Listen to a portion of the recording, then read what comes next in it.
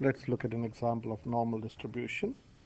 Uh, a company manufacturing light bulbs has found that they have a mean life of 300 hours with a standard deviation of 30 60 hours.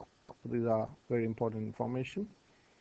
Assuming that the life of hours, life in hours of the light bulbs is normally distributed, find the probability that the light bulb selected at random will last less than 310 hours.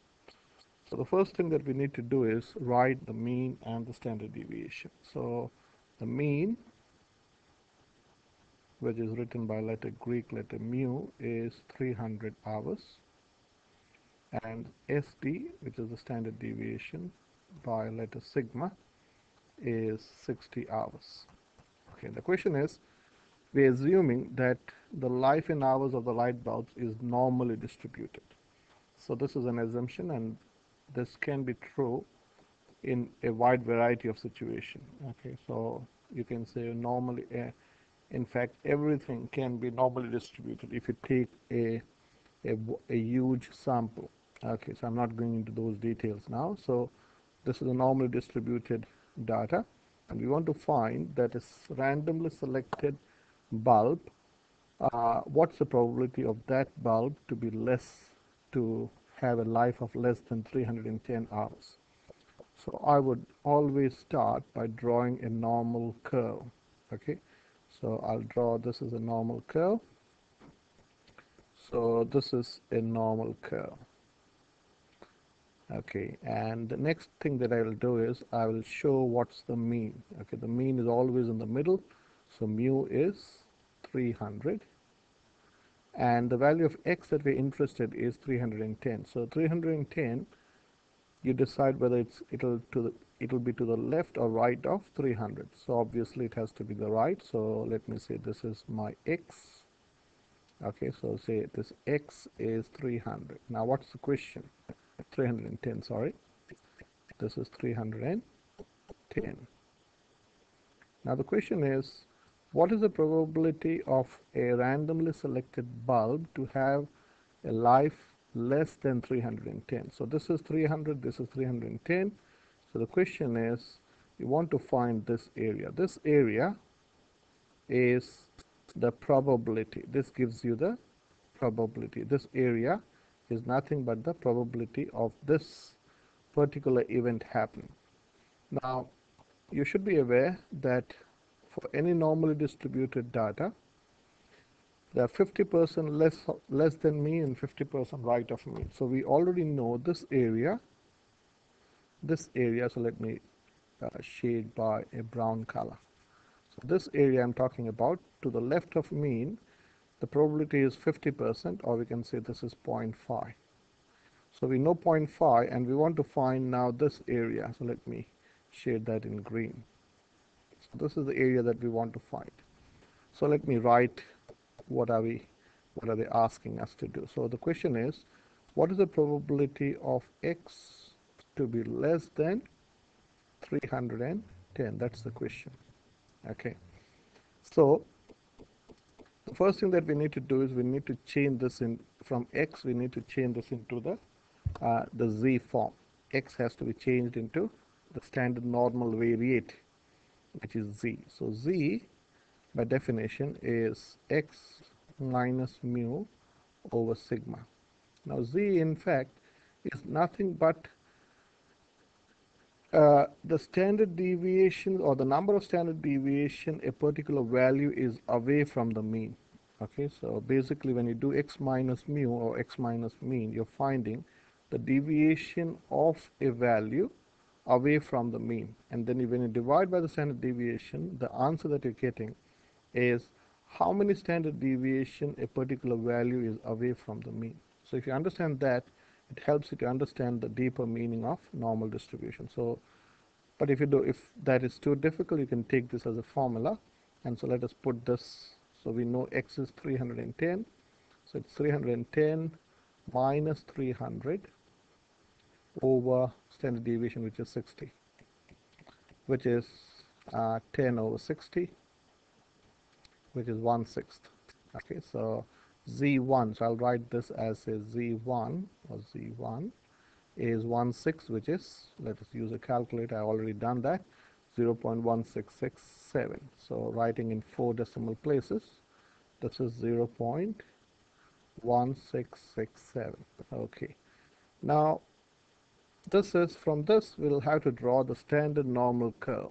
Okay so again we'll draw the curve. If you go through this process you'll always find that normal distribution is not that difficult okay or any distribution if you go through this process. So this is the normal curve or this is this is the standard normal curve. I think I can draw better. Let me draw a better curve. So this is a say a normal curve or standard normal curve now the corresponding value for mean in the standard normal curve is 0 okay or 300 corresponds to 0 now again if you use the same logic why why is this z? So we are here we are writing z.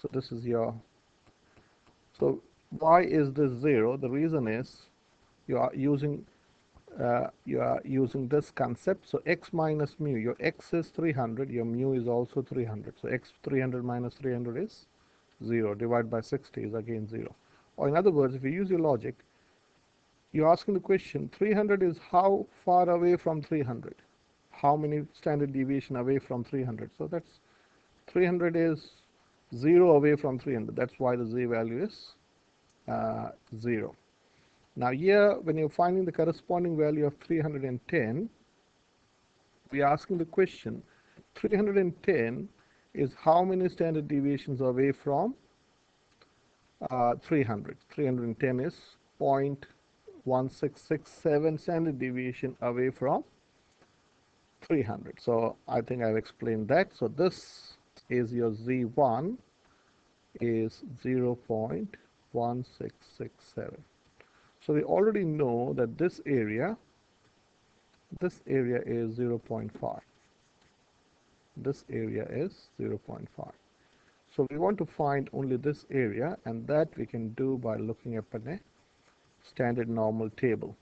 Okay so here let me write the in, in mathematical form. So probability of z okay so we want to find we want to find the probability of z to be between uh, between 0 and 1.6 sorry 0 0.1667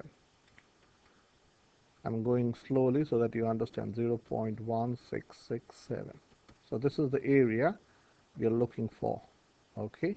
So this is the area we're looking for so this is my table okay so this I think you can see the ruler here so I want to go uh, my the z value that I have got is oops the z value that I have got is 0.1667 so how would you read from the table so this is 0 0.1 and 0. Point, this is your z value. So you read from the table. So the whole table is the z value. So this is how you read. You first, in the first column, you look at uh, value 0.1. So you go across to 6. Okay. So you can say the z value for 0 0.16 is, I'll say like the 0.16 the z value is 0.0637 and if you go across to 7 so this is 0.16 uh, let us take uh, up to, you can only take up to also let us take 0 0.167 so if you go along to 7 you can go only up to three decimal places which is 0 uh, this is in, when you read 28 that's actually 0 0.0028 okay? And if you add this up uh, 8 plus 7 is 8 plus 7 is 15 okay so this is 5 6 uh, this is 6 so 0 0.0665 so I have taken up to third decimal place. Okay so let me go back. So here probably so this answer is 0 0.0665 0.0665 okay so here to answer this question we can say the probability of x to be less than 310 is nothing but 0.5 plus 0.0665 so let us add that up. So that is 0.5 plus 0.066 0.5 plus 0.0665 which is 5 0.5665 okay. So the answer is 0.5 oh you could have done without the calculator. You didn't need a calculator. So what does this mean? This means the probability of a light bulb a randomly selected light bulb to live or to survive for less than 310 hours is this. Or if you want to express this in percent there is 56.65 percent chance or probability for a bulb to survive less than 310 hours. Okay that's the meaning. Okay so let's do the last part. Between the same question between 220 and 270 now those who have the graphic calculator you can do don't need to go through this whole process. But it is good to learn reading from the table because you understand what's happening when you do on a calculator you are basically pressing uh, uh, buttons or keys to get to the answer. You don't know how you're working. You're not going through a thinking process. So let me do uh, because some of you may be having graphic calculator. So how to do without going through this whole process? But I would recommend that you go through this process. So what you do is you go to stats and then you go to distribution which is F5 then you go to normal which is F1 and then you go to NCD okay uh, normal cumulative distribution okay so I'm not going to that. So the question is they're asking you what's your lower limit? So your lower limit is say 0 your lower limit is 0 is somewhere here. You can also put a negative number. Your upper value is 310 okay. Now they're asking you what's the standard deviation? Standard deviation is 60 the sigma is 60 standard deviation and your mu is 300 just like that. And then you enter and then you execute. So this is 0.566 uh, yeah that's the answer that we got. Yeah so that's the answer 0. Point uh, let me move this 0.5661 so this is more exact. So they have gone to say the zillionth level of precision. Okay so but this answer is quite good.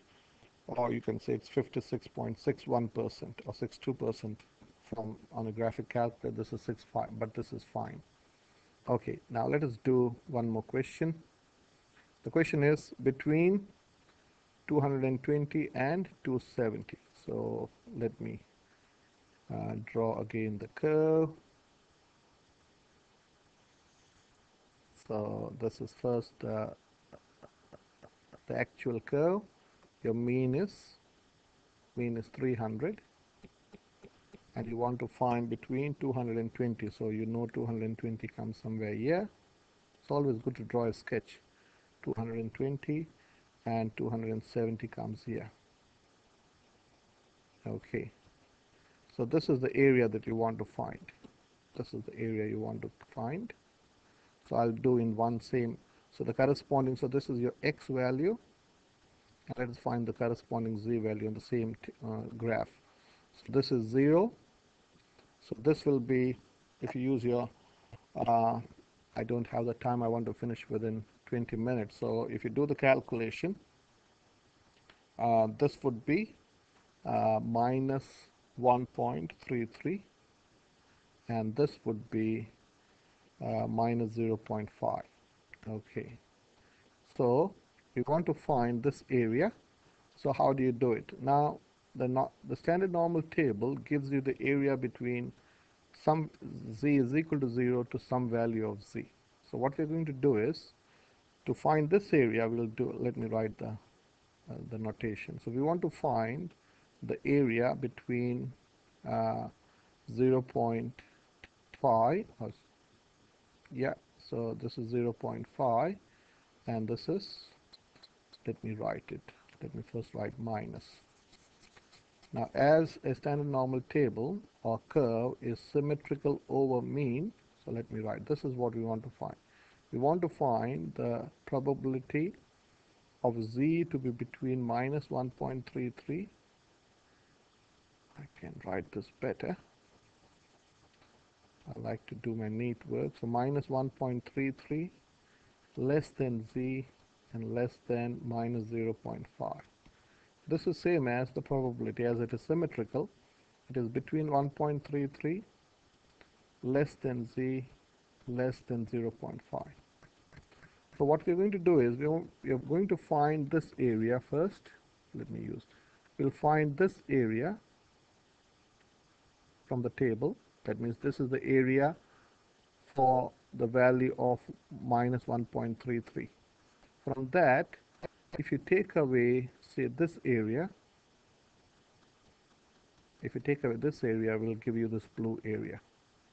So basically what we do is so this is probability I'll write in short like this it of z uh, of 1.33 this is not a mathematical way of writing but I hope you understand. Minus probability of c is equal to 0.5 so basically what we are saying is we find the area of 1.33 and then take away the area of 0.5 and the table is always between some value of z, uh, z is equal to 0 to some value of z so what's the so let me go let me delete this ruler okay so the area of 1.33 so this is how you read. This is 1.3 go across to 3 which is 0 0.40 uh, 0 uh, 0.4082 so let me write it here. So 0 0.4082 is the area of 1.33 and the area of 0.5 is 0 0.1915 0 0.1915 so this is 7 7 take away 1 is 6 so this is 0 and uh, 2067 I hope I have not done the mistake so let me do the on a calculator. Menu run 0.4082 minus 0.1915 it's always good to confirm your answer. 2167 so this is I was always having a doubt. So 2167 so this is 2167 okay so let me go back. So the probability is this or I'd go down. So this answer is the probability is 0.2167 am I right? Yeah to 0.2167 or in other words the probability of a bulb to be between uh, to, to live between 220 and 270 hours is 21.7 hours in one decimal place